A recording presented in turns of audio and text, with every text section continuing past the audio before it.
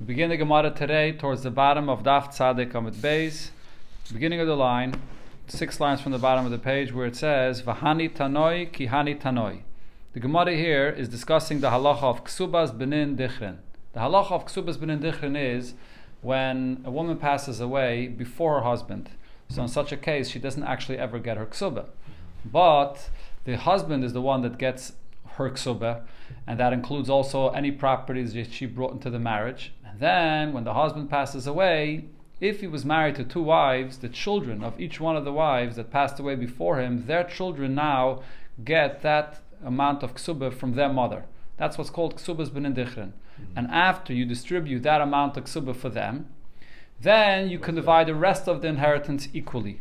And one of the conditions for this, which is relevant here in the Gemara, we're going to learn it soon in the Gemara and then later in the Mishnah, is that we only apply this deal of ksubas ben dichrin in a case where there is at least one dinner that's a remainder that's left over that you can divide equally. If you can't divide any of the inheritance equally After the after after, they divide the ksuba for the two uh, the children of the two mothers, if there's no leftovers, then you cannot give each one of the children of their mother the ksuba for the, for the, the amount of their mother.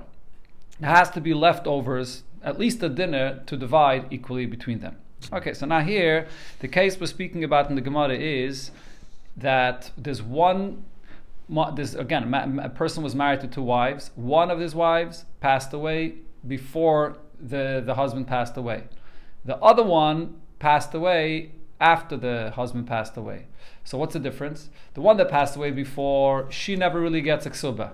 Who gets the ksuba? The, the father is the one that gets the ksuba, and then the children in the inheritance they want to get the ksubas benin dichrin.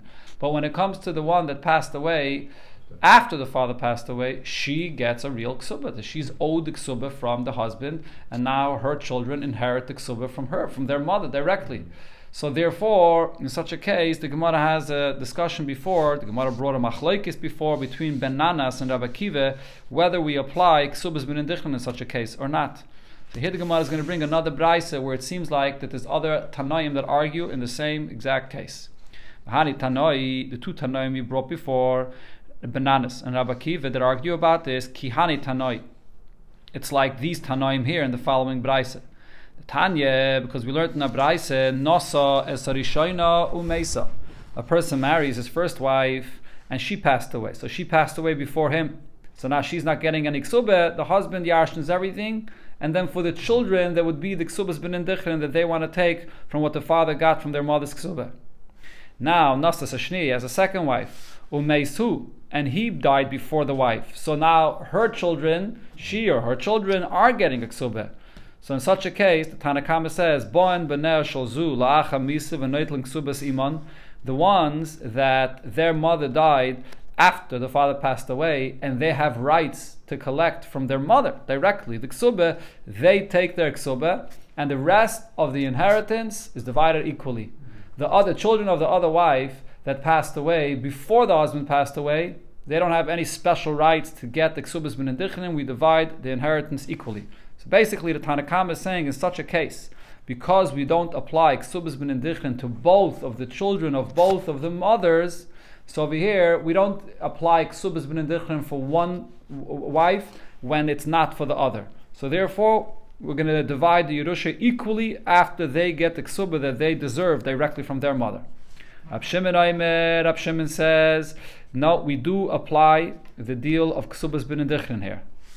Im yesh dinner, if there is at least a remainder of a dinner, like I mentioned before, after you're going to give each one of the children from their mother the special amount from the ksuba of their mother. There has to be at least a remainder of one dinner to now divide equally between them, to, to fulfill the Yerushim and Atayr. If there's going to be a remainder of a dinner, then Eile Neutling Ksubas Iman, Ve'ele Neutling Ksubas Iman. So each one of them is going to get the ksuba of their mother.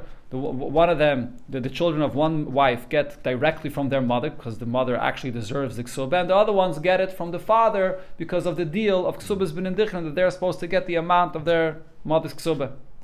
Vim lav, and if you don't have the remainder of a dinner, chalkim b'shavah. So then the halacha always is that you have to divide everything equally. So here you see, so the Gemara says, "My lab miflagi." It seems like that here, the argument between the Tanakam and Rab Shimon is like we said before. Mar Sovar. So Rab Shimon's opinion is Achas b'chayav, Achas b'moisai. If one wife passed away in the husband's lifetime, and one wife passed away after he passed away, so therefore one for one mother there's a regular ksuba, and only for the other one is there not a ksuba, but this ksuba is benin dichrin. So even in such a case, yeshlen ksubas benin dichrin. The children of one wife will get their ksubas benin dichrin from the father. The other one, the other one is a regular ksuba. Correct. So even though one is getting a regular ksuba and the other one's only the children of one mother are getting ksubas benin dichrin, we still apply this halacha of ksubas benin dichrin.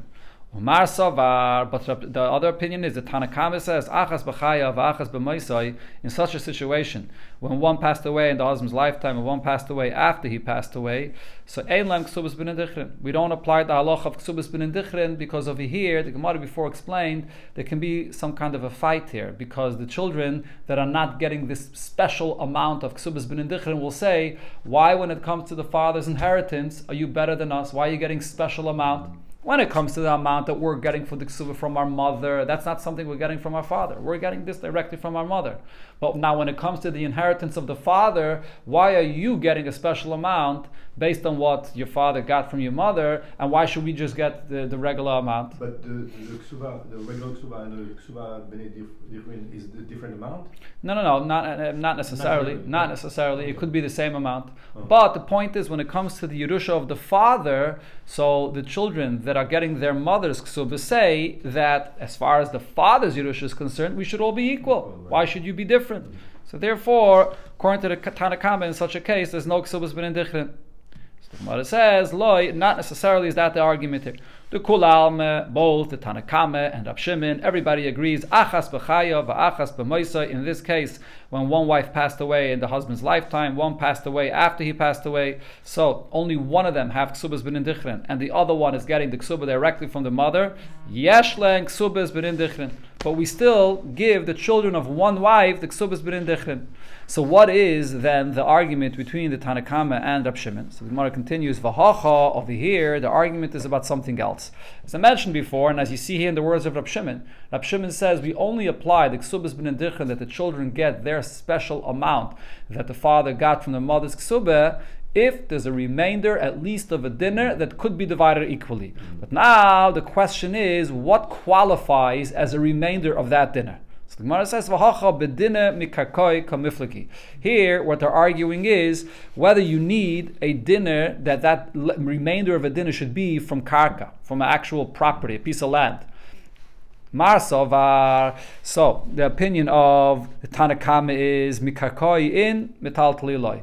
Only if you have a remainder of a dinner that's from karka, from a land, then you say that they can divide ksubas bin but if the remainder of a dinner is metaltalin, it's just movable items, it's not the same, it doesn't the same kind of a value, and it's not the same stability as a piece of karka, so then loy, that's not a remainder that we can say that we have still something to divide equally amongst them. It's only metaltalin, it's not as significant. Mar Sover, and on this Rab Shimon comes to say, and he holds afilim metaltli, as long as there's a remainder of a dinner, any remainder, even if it's just metaltlin, any valuables, so that's enough that we can now give each one the ksubas benedichin, and we have the leftover for this to, to divide equally, even if it's just metaltlin. okay, so the Gemara asks on this pshat, umi matzis amris hachi. Can you say that this is Rab Shimon's opinion? That even if there's just a dinner of valuables, metaltalin, that's enough to, to divide between them equally. But what not? It says in the Mishnah, this is the next Mishnah we're about to learn over here on this Amud. So there Rab Shimon clearly says, Rab Shimon noime, yesham shein lemachrayis. Even if the remainder of a dinner that's there in order for them to divide equally is from properties that ein lemachrayis, which there's no responsibility on them. This, this, this is an expression that refers to metaltalin, valuables, movable items that you can take from here to there and it could disappear.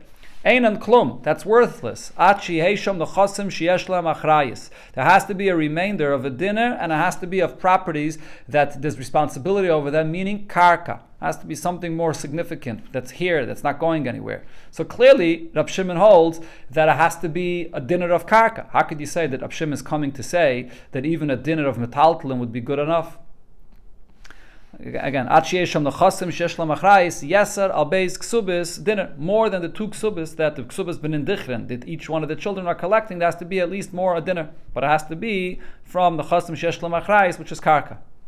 So the Gemara changes the pshat of the machlokes. Ella, rather, maybe we could say that the uh, understanding of the machlokes between the Tanakam and Rabshimon is as follows. Hacha.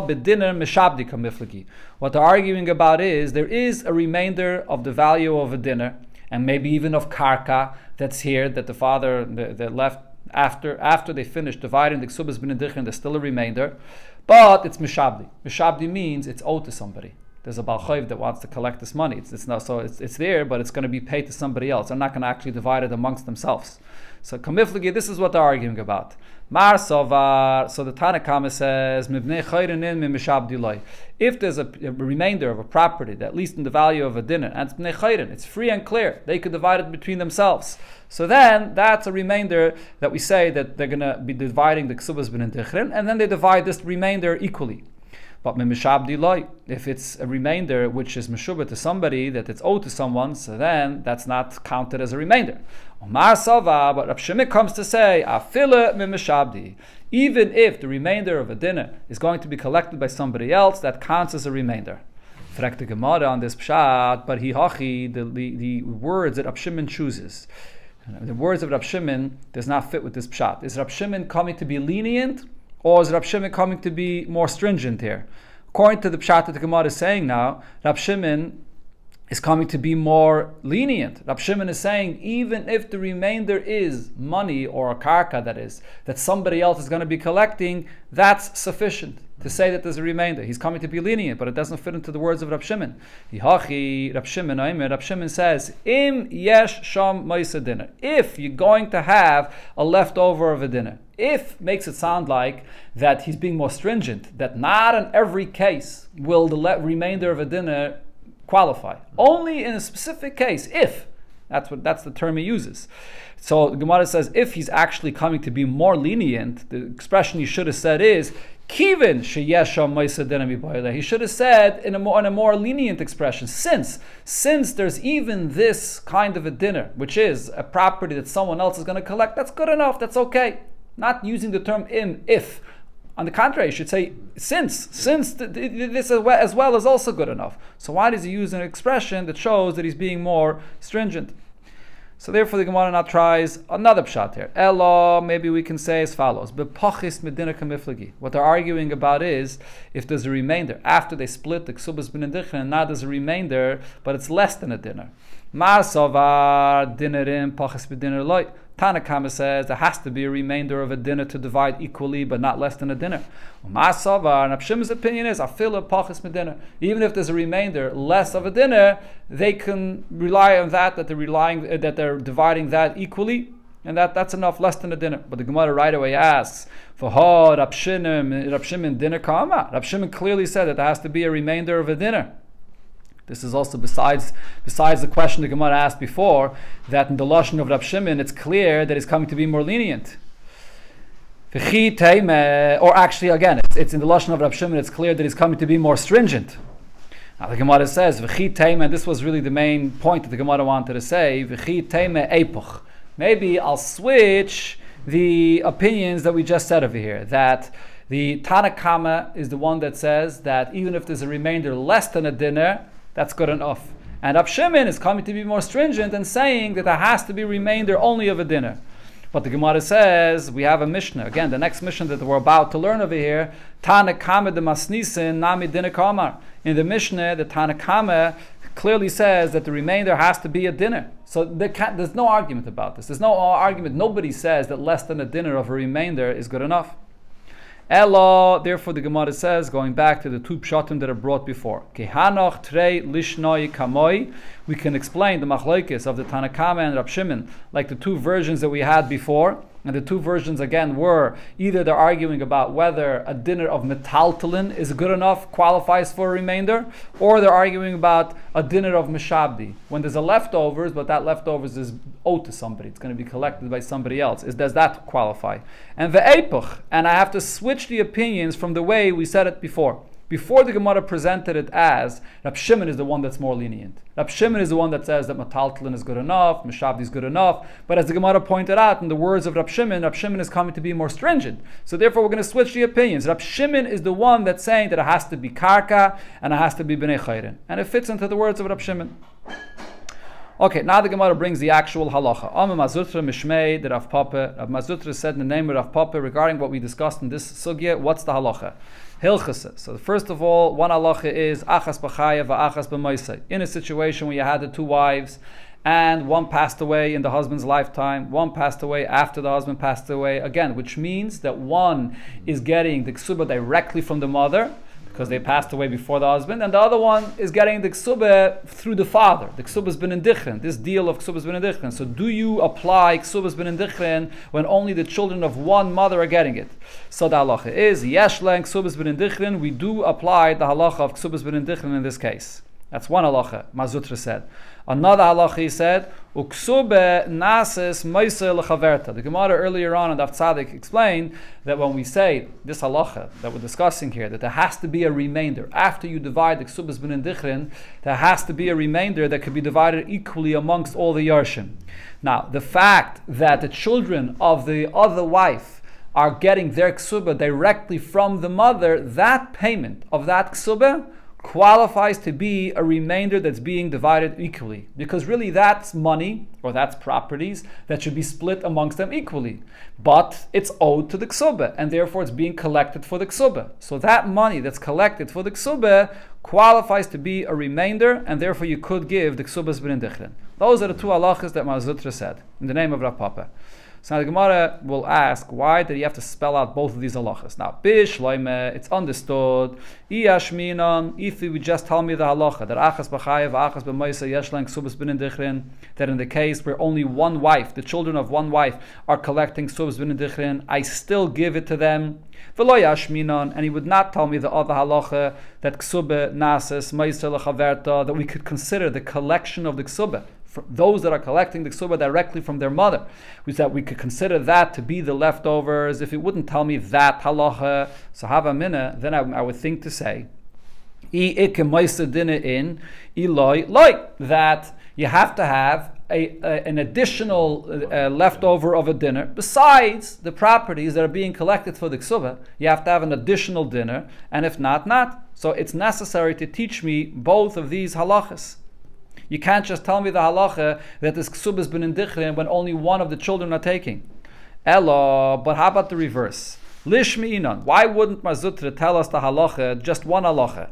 Ksube nasis lechaverta. That in a situation where you have one that's taking the ksubas bin dichrin, and then the other one is getting the ksuba directly from their mother, that the ksuba that's being collected from their mother, that's considered to be the leftovers that now the other children of the other mother can get their ksubas bin dichrin. Why wouldn't it just teach that halacha? Va'no yedaina, and automatically I would know mishum da'achas b'chayav va'achas b'moisai, that this whole halacha only applies in a case where you have children of one mother that are getting the ksubas bin dichrin, and the children of the other mother are taking the ksuba directly from their mother. That's the only time when this concept applies that I could say that the collection of the ksuba serves as a remainder, is considered to be the remainder after the ksuba has been dichrin that the children of the other mother are collecting. So with just by saying this halacha, I would know that we apply ksubas bin dichrin even when only the children of one wife are collecting it. Why does he have to spell out that halacha separately?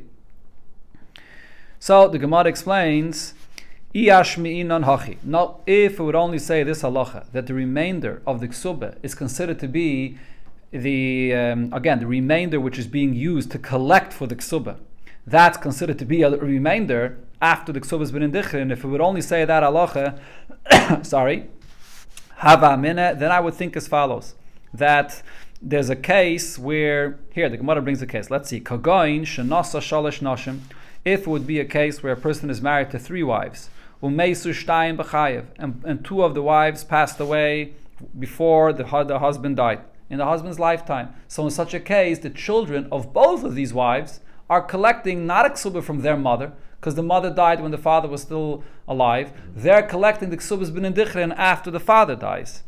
Then the va'achas b'moisai. Then the third wife passed away after the the the, the Again, va'achas yeah, the third wife passed away after the husband passed away. Now, the children of the third wife, they're the ones that are getting the ksuba directly from their mother. But the case here is v'hach demayis la'acha misa. This third wife that passed away after the father passed away, after the husband passed away, Yeledis Nekevahi. She only has a daughter which is in a Nekeva. She doesn't have any sons that are part of the Yerusha. She just has a, a, a daughter which is in a Nekeva. Velav Bas Yerushi, so she's not part of the Yerusha over here at all. So what's going to be the halach in such a case? In in such a case, there's really no reason why not to apply the halacha of ksubas benin dichrin. As I mentioned before, the only reason why, in a case where there are children of one wife that are taking the ksubas bin dichrin, and the children of the other wife are not taking the ksubas bin dichrin, the reason why maybe you should say not to apply the ksubas bin dichrin in such a case is because there'll be an, an argument about this. Because the children of one wife are going to say, why are you getting more than us from the father? But over here in this case, children of two of the wives, both of them are getting equally the ksubas bin dichrin, the special amount of the ksubah for their, for their mother, from their mother. Sorry. Now, the fact that there is a third wife here that has a daughter that's, that, that that's not getting that ksubas bin dichrin, but the, the child of that wife is is a nekeva. She has no tinus. She's not even part of this whole Yerusha here. She's not going to come and fight and say, why are you getting more of a Yerusha than me? She's not part of the Yerusha at all. The children of the two wives that are Yarshaning are both equally getting Subas bin Dichrin. So in such a case, you could apply the halacha that the collection of the ksuba of the daughter of the third wife is going to be qualifying as a remainder. So that halacha would apply over here. But I would not know the chiddush that when one takes ksubas bin dichrin and when one does not, that we still say that you give ksubas bin dichrin. Because in this case, there's no reason for a fight at all. As the Gemara concludes, aval achas b'chaya. If it would be a case where one wife passed away in the husband's lifetime, one wife passed away after he passed away. So again, one is getting the ksubas bin and one is not. And misa and the one that passed away after the husband, so therefore they're getting the ksuba from their mother, mother. They're not getting ksubas bin dichrin. Yeled zachar. There's a zachar. There's a child that's that's yarshining here. So maybe they, I should be uh, afraid that there'll be a fight here. This zachar is going to say, "Why are you getting more of Yerusha from the father than me?" I'm collecting the ksuba from my mother. You're not collecting the ksuba from your mother. You're collecting the ksuba from the father. So regarding the Yerush of the father, why are you getting more than me? So that's still a chiddush that I would not know. Kamash Malon. That's why you have to say separately this halacha that even in this case we do still give the ksubas benin dichrin to this one child, for this child from this one wife. Okay, we continue now. This is another Mishnah here which will discuss this halacha of ksubas benin dichrin, and it'll mainly focus on this point that I said before, we only give the special Yerusha of Ksubas bin Dichrin in a situation where there is a remainder after you divide the special amount that each one should be able to divide equally the inheritance. Person is married to two wives, Umeisu, and they both passed away. First, Va'achakach Meisu, and then the husband passed away. The Yisaimim Vakshin Ksubas Iman. And now the Yisaimim of both of these wives are requesting to get paid the Ksuba of their mother. This is the Ksubas Bin They want to have that special amount that the father got from their mother. Vein subais, and there's on the inheritance, there's only enough to distribute and to divide the two special ksubas for these children, and there's no leftovers. B'shave, uh, sorry, shteik ksubas that is, but there's no leftovers. So what do you do? Chelkim b'shave. So now the whole halacha of ksubas bin dichrin does not apply. There's no remainder here, so you divide equally dinner, if there's at least one dinner that's left over to divide between them equally, so Ela Neutling Subasiman, Ve'ela Neutling Subasiman, so then the children of each mother can get a special amount for their mother's ksube, and then the rest you divide equally, which is the dinner. Now, what happens in Omri Yisaimim? The Yisaimim do want to get a special amount from their mother's ksubah, and they see that there won't be any remainder to divide equally, so they're not going to get it. So what do they do? The Yisaimim say, Anachnu al avinu we consider the value of our father's properties to be higher than the market value is, and therefore for us, we consider it to be higher, so there will be a remainder of a dinner. They're saying this in order that they should have the ability to get the special amount of the ksuba of their mother. Ein shoymelen, we don't listen to them. Rather, what we do is elashaminis and achasim bebezin. The properties are evaluated in bezin according to the market value, and if there's a remainder, they get, and if not, not. Hayusham the chasim beroy. If there are properties right now, there is no remainder that there would be that the father actually has or that they are inheriting from their father, but there's beroy. There's properties that they could be getting, let's say, from their father's father that's still alive, and when he passes away, then they will be getting it. This is not considered like something that's here already now as a remainder that they should be able to get the special ksuba from their mother. Rab Shimon, says regarding this remainder of a dinner, if there's a remainder of a dinner, but it's from the chasm shein which as I said before, this is the metaltalin, einon klum, that's worthless. Has to be achiyusham the chasim sheyeshlam achrayis yesash teksubis dinner. There has to be the amount of a dinner from properties, from, from a piece of land which is which is here to stay. It's not going anywhere. That qualifies that there should be a remainder of a dinner. Taner Rabbanon, we learned in the Braise. Braise basically says the same halacha as the Mishnah. Lezu elev lezu chamish meis. If you have the children of these two wives that want to collect a special amount from their mother's ksubah, now one of them, the ksubah of their mother was a thousand, and the other one, the ksubah was half, only 500. So he's going to get only half. So im yesham dinner. So again, like the Mishnah said, if there's a remainder of a dinner that then is going to be divided equally as the Yerusha, so then I say Elanoit and Ksuba Simon, Ve'elanoit and Ksuba Simon. Each one of them will get the amount of their Ksuba. So one will get a thousand, and one will get five hundred. Vim lav, and then if not. They're going to divide it equally. So as it says in the Shittim says the chiddush of this brayse that I did not say in the Mishnah is when we say that the children get a special amount of their mother's ksuba. According to the Mishnah, you may have thought that what that means is that let's say one one mother had two children, the other one had 10 children. So we're going to divide for the two children and for the 10 children, they're going to get the ksuba of their mother, even though there's different numbers of children here and the inheritance is not the same. In this brisa, it's saying even if the actual ksuba itself is not the same amount, not only regarding the children, but the actual ksuba is half of the amount by one wife over the other wife. Still, I say that each one gets their special amount as long as there's a remainder of a dinner afterwards, it can be divided equally. Okay, now the Gemara says as follows. What, divided among the, the leftovers of the. Yes, the, right. So the Gemara says, Pshite, now this would be obvious to us. Mirubin vinismatu. If when the father passed away, there was enough, there was a lot of properties, there was enough that there will be a remainder to divide equally between them. But then vinismatu, later on, the market value of the properties went down, and now there isn't anything extra to divide. So, do we say that because in the beginning there was a remainder, so that they can divide the ksubas bin and get their special amount, or not? Or we look at the present. Right now, the value went down and there is no remainder. So, the Allah over there, it's obvious that kfar zachu behen yershin. The Yershin were already Zeiche in their special amount of the ksuba of their mother, because then, when the father passed away, there was a remainder, and that's that's the time that we go according to. If at that time there was a remainder, so they have the rights to collect their special amount from their mother. But if it was the reverse, that when the father passed away, there wasn't enough of a remainder to divide equally. But now v'nisrabu, today there's more. Today you could uh, you could divide extra. There is extra to divide equally. My, what's going to be the halacha here? Should I say I go according to when the father passed away? At the time that the father passed away, there was no extra, or do I say no? The fact is today there is. If today there is, so then the whole point of why there has to be a remainder is because we want to still keep the Yerusha Minatayra in place to divide equally. So if today we could do the Yerusha Minatayra, so it's okay.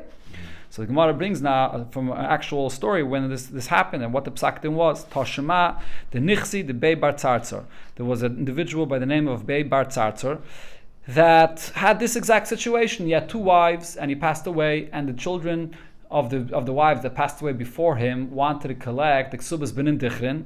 So muatin v'nisrabu havu. So when when he passed away, there was not enough of a remainder to be divided equally. But then it became more. The, the, the value went up. And the Vasla Kamed Rav Amram. They asked Rav Amram, what's the halach here? Amalahu Rav Amram said, Zilu Paisinu that you, you do have to go and give the one if, if there's one of the children that have from one wife from one of the wives has a bigger ksuba and therefore they want to collect extra more their amount of their mother's ksuba he says yeah you're going to have to give them the ksubas bin of their mother's ksuba even though when they when he passed away there wasn't enough of a remainder but since today there is you do have to give it to them So what happened? Lo yashkechu. The other Yarshim of the other mother didn't want to do this. They didn't listen. They just wanted to divide equally. The one from the smaller- Yeah, exactly. The one from the small Iksube, so they didn't listen. Amalahu, so Rav Amram said to them, "Iloime- iloime um, faisisalu," if you're not going to appease them, meaning if you're not going to give the ones of the wife, the wife that have the large Iksube, if you're not going to give them, so then "Achinu luchu besilva deloi mabadoma." I'm going to hit you with a thorn that does not cause bleeding. That's a simple translation, which means I'm going to put you in some kind of excommunication. He's trying to force them to fulfill the psak din. And they weren't listening. So what did he do? Shadrinu lekamei Rav Nachman. He sent them to Rav Nachman. Rav Nachman should paskin what the halacha here is. So Rav Nachman actually disagreed with Rav Amram. Rav Nachman paskind Amalehen. Rav Amram said, eh, Rav Nachman that is said, Kishem shemerubim v'nismatrim. Just like the halacha is that if in the beginning there was enough for a remainder to be divided equally, but now there's less and you don't have. Zachu behen yarshin. So I say that I go according to the time when the husband passed away, and if then there was enough, the each the yarshim of their ksuba of their mother are zayche. Kach so too muatim v'nisrabu. If in the beginning there wasn't enough, and therefore then you could not apply ksubas ben. And today there is zacha ben yarshin. So the, the yarshin are zeiche that we, in other words, the, the that we divide equally. Since at the time we always go according to the time when the husband passed away. If at that time there wasn't enough, we're going to divide it equally, not like Rav Amram said. That was Rav Nachman's psak. Okay, here the Gemara is going to bring a bunch of different little stories with piskei dinim that are connected to what we're discussing here and the Mishnah that we learned. And it's going to get into a bunch of different cases as well. Simin, the Gemara first brings a simin for these different cases. Ela, Fomeya, Mitzvah, Biksuba, Yaakov, Zokav, Daisa, Bdvarim, Asikin. So, Hahu Gavra. There was an individual, Dava Maskebe Alpha Zuzi, that people were, someone was trying to collect from him a thousand zuz. Havale Trea Padni, he owned two big, nice houses or two palaces. Zavino, and he sold them. He sold them both to one person. He sold one for 500 and the other one for another 500. So now the, the two together are the total amount of what he actually owed. Now also balchoiv, now comes the person that he owed him the money. So he comes to the buyer and he confiscated one of these palaces for the payment of his loan. He's, his loan was from before, and therefore there's a lien on this on this house, on this property, and he confiscated it for themselves. He came back again to confiscate the second palace to get the full payment. And one of them was 500, so he got half of the payment. Now he wanted to confiscate the second palace. So what did this person, what did this buyer do? He didn't want him to take away the second palace. So Shakal Alpha Zuzi, he took a payment of a thousand zuz, and, and he went to the uh, to the creditors that were collecting this money, and he said to them as follows: and he went to them, and Amalei said as follows. If for you the first palace that you collected, if you consider its value to be a thousand, now really in, in the market value, the market value is only five hundred. But basically, what he's saying is, for me, this first palace that you confiscated from me, for me, I really, uh, really want this. It's very, very cherished to me. For me, it has a value of a thousand. If you're going to consider it also to be the value of a thousand, and therefore really you got your full payment of a thousand from the first palace, and therefore do not come and take the second one for any additional pay, payment, so then that's good. So then it's finished. Don't come and collect the second one. So in other words, what this what this person is basically saying is, let's not go according to the market value. Let's go according. I value it much more, and therefore, when you confiscated this for me, you got your full payment. But now he's telling them, if you're not going to accept this, and therefore you consider it only to be half of the payment of, of for 500, and therefore you want to collect more, you want to take the, the second palace from me.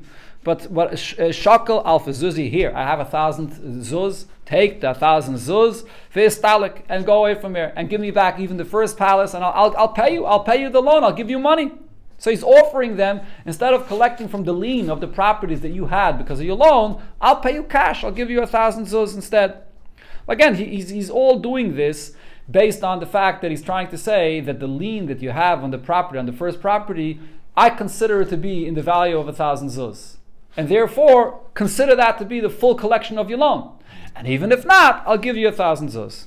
That's, uh, that's what he's telling them. So now, because Gemara says, Ravi Machame thought to say that this, this buyer can't come and say such a thing, that I consider it to be the value of a thousand zuz. This is what we learned in the Mishnah. Im Amru Yisaimim, if Yisaimim come and say, Hare anu mailim al nichsi avinu the Yisaimim say, when in the case of it, the Mishnah said, when there was no remainder to be divided equally, so therefore the Yisaimim say, we consider the properties of our father to be the value of a dinner. For us, it is worth more. So you can't do that. We go according to the actual evaluation. The Beis Din will evaluate the actual proper uh, market value. So over here as well, this buyer can't say, for me, this palace that you collected is worth a thousand zuz, and therefore you should consider it to be already your full collection of the loan. And therefore leave me alone. Do not take the second one. They can't say that. Amalei Rava, so Rava comes and says, no, there's no comparison to our Mishnah. Me dami, how could you compare it to our Mishnah? Hasa mislub yasmi. In the case of our Mishnah, the reason why we don't allow the children of one of the wives to come and say, for us it's worth more, is because they're going to cause a loss to the other Yisaimim. They're going to be taking extra, special amount for their mother's ksubah. So they're, they're, causing a loss. So we can't, we have to go according to the market value. Hacha, Over here, what kind of a loss is there going to be? If they're not going to accept this that he's saying, that to me it's worth double the price, so he's offering to pay them. Alpha Yav, Alpha Shakel. He's saying, look, you borrowed, uh, the, the, the, the guy borrowed from you, the, the seller borrowed from you $1,000. I'm paying you back now $1,000 or 1,000 zuz. So therefore, they're not losing anything. So therefore, over here, if he says to them that I want you to consider this payment to be the, the, the full payment even though the market value is actually less, but because they're not going to lose anything, he's offering to pay them the full amount. Over here, we accept this. Okay, so this, uh, as, as the, the Rishonim explained, the, the basis of this machlokes between Rav and Rami Bacham over here is there's a lien. There's an actual lien on the properties that, that the, the buyer bought. The question is, does a buyer even have a right to go to the creditor and say, I'll pay you cash? Who is he to say, I'll pay you cash? The, maybe the creditor could say, I'm not interested in your cash. I have a lien on these properties. I want to get my full amount from the actual properties. So that, that's basically what Rami Bacham said. This that he's offering to pay cash is, is worthless. He doesn't. he, he can't offer this. But Rava says, true, there's a lien on the properties, but as long as he offers to give cash and there's no loss, so then there's no issue with the fact that he's saying that it has more of a value for him. Okay, but now the Gemara has another question. Vitirfa bekama kasvina. What happens if the creditors do accept his offer? And, and they say, okay, we're going to consider the fact that we took one palace for, a thousand, for which is really worth $500. We're going to consider it to be worth double, $1,000, and therefore we collect this. But now the question is tirfa. Tirfa means when a buyer that bought something and the, now the, the creditors went and confiscated from him, what happens? He goes back to the seller and he tells the seller, now you have to take responsibility for this and reimburse me for what I paid for this field. But the question is, how much tirfe, we, we write, Besdin writes for the buyer a document for him to be able to go and collect from the seller. What amount do we write in this document? On one hand, the actual value of the, of the palace that was collected was 500. But on the other hand, though, the creditors agreed to collect it in the value of a thousand. So now you sort of saved the seller the thousand dollars that he owed these creditors. So maybe you should write that he has the uh, right he has the right to collect now from the seller, the buyer that is has the right to collect from the seller a thousand.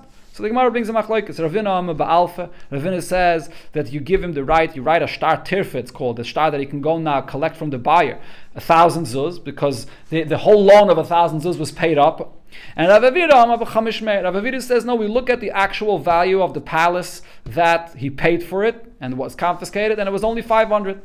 The hilchase, the halacha is like Rabbi Avira, which is b'chamish meya. We only write that he can collect back from the buyer, from the seller. Again, the buyer could only collect from the seller 500 zuz, not more.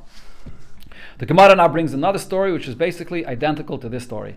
Ahogavara, there was an individual that he owed a he owed a hundred. Here is I only owed a hundred zuz. Havalei today continued the. He had two small properties.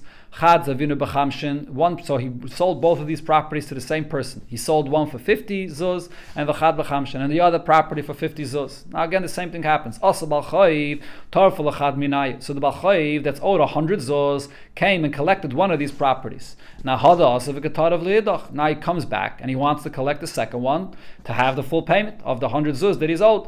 So what does the buyer of these properties do? Shaka kuv zuzi, he took a hundred zuz because of lagabe, and he goes to this balchayv, he goes to the creditor, and he tells him, V'amalei, ishavilach kuv zuz l'chay. If the first property that you collected, you consider it to be that value of hundred zuz, so that's good. So you got the full payment. In other words, again, like I said before, he's saying that for me it's worth hundred zuz.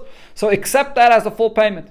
If you don't consider it to be a full payment, shakal kuv zuzi v'istalik here. I'm ready to pay you a hundred zuz. That's how valuable it is for me, and leave. And and I, I want to keep it.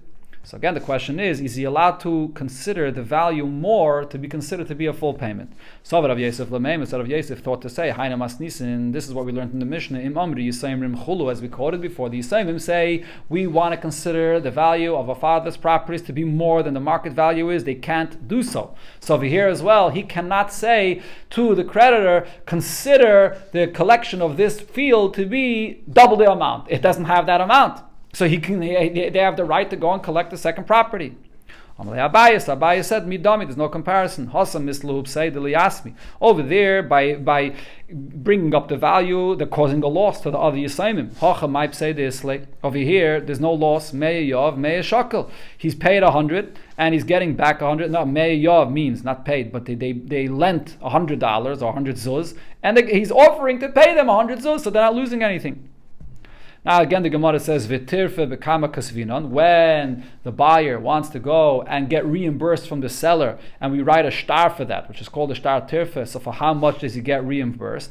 Ravina Ravina says they get reimbursed the full amount of the loan that was paid up. So this is speaking about in a case when the creditor actually agreed to consider the, the, the collection of only 50 zuz field to be the full amount, so therefore the buyer could collect 100. And Rav Avira says only half, only chamshin, which is the actual value of the field of what he paid for it. And the halacha is only 50.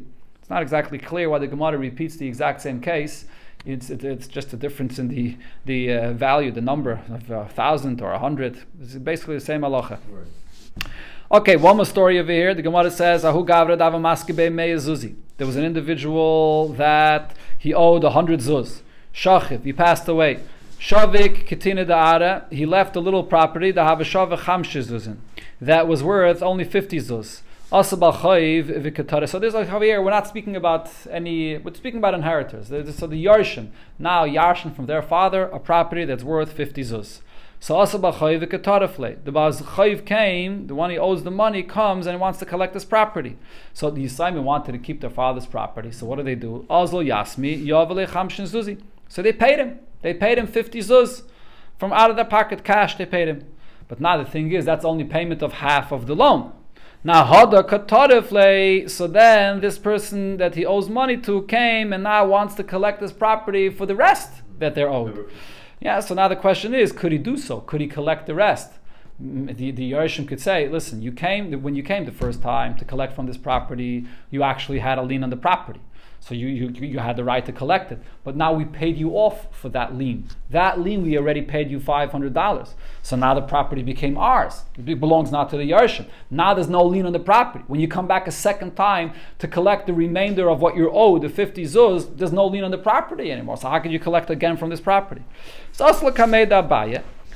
Came and uh, uh, they came to Abaya, and Abaya said the Yershim are actually wrong he could come a second time and collect from this property. Why is this? Amalan Abaya says, Mitzvah al Yisaimim lefroya chayvavian.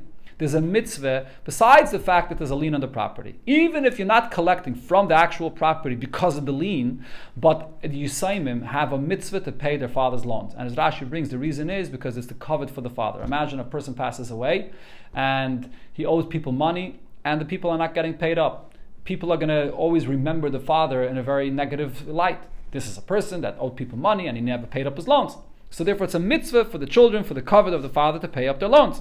So therefore, says Abaya, Hani kamoi mitzvah of disu. When you pay this balchayiv, the fifty the fifty zuz, that's not re- considered to be a payment in order to remove the lien from the property. You pay the chayiv because you have a mitzvah. You, you have a mitzvah to pay the chayiv. That's it. So that you did your mitzvah. Now, hashte kitarev b'din kitarev. But the lien on the property actually remains. So now, when they come a second time to actually collect the property, now they have a lien from the property that they're collecting, and therefore they could collect. But the Gemara explains this psak din of Abaye. It depends what was said when they paid the loan, when they paid the cash, the loan, the fifty zuz. So this is only said hani zuzi dami. If when they paid the fifty dollars cash, they didn't say clearly we're paying this because of the lien on the property. So then we could say what Abaya said. The money that they paid is the mitzvah that they had to pay for the loan. It does not remove the lien from the property. But Aval Omru, if the Yisaimim clearly said, Lomrule, they said to him, Hani Chamshi Zuzi Domi Areketini, we are paying this 50 zuz to you in order to remove the lien from the property. So Saluki Salkua, so now they remove this person, now he doesn't have any lien from the property, so he will not be able to collect a second time from this property itself. It's not, the lien is not there anymore.